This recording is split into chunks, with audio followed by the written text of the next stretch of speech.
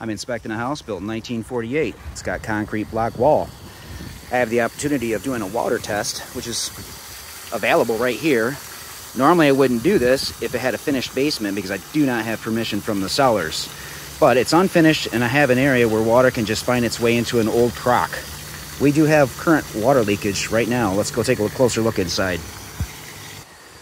So performing a water test on a dry day is a nice thing to have available. So again, this basement is unfinished and we have a lot of cracks in the uh, fractures in the concrete block, but here we have current leakage. You can see it just beating right out of the wall.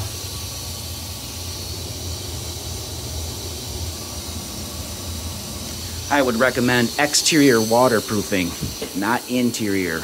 Interior, you're just letting the water come in, you're bringing it to a sump pit, and then you're pumping the water back out. And um, you're gonna get an electric bill. Exterior waterproofing should be conducted, which is basically digging out the outside of the foundation wall, remove old soil if there, you have clay or improper backfill, and then use hydraulic cement to patch up any of the cracks and repair. Then seal the outside of the wall with roofing tar, thick roofing tar, and then use a Visqueen um, over that. And then you would bring in crushed gravel and fill the backfill with the proper fill.